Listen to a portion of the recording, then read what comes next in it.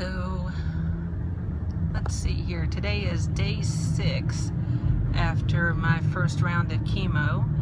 And um, all the stuff that they kind of warned me about is slowly starting to happen. Um, I'm getting the mouth sores. I remember those from like 20 years ago. So it's sort of like the little mouth ulcers and like the bumps all over your tongue that make just eating just. Um, just just random nausea and sweating. So if you're around me and I'm just starting to sweat on you for no reason, I apologize. Um, but yeah, just uh, just just very tired.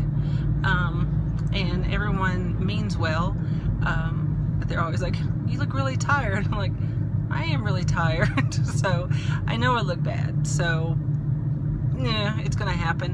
Um, but yeah, overall, it's just and, all the other things that, that they warn you about that we don't like to talk about in polite company, you know, like the factory not working the way it should.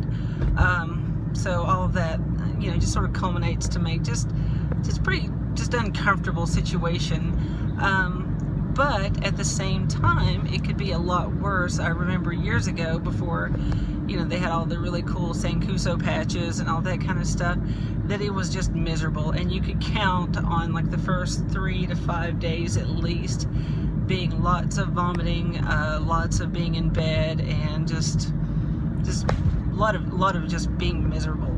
So um, even though I can be crabby about it now, given you know the 20 years difference it is night and day different. So it's still miserable but comparatively it's a cakewalk. So but yeah overall things are going pretty well. Um, got to see the women's lacrosse team today so they were they were super excited and I'm always excited to see them. So that's about it. That's the biggest updates for now. The hair is still holding on so we'll just keep it until it decides to go away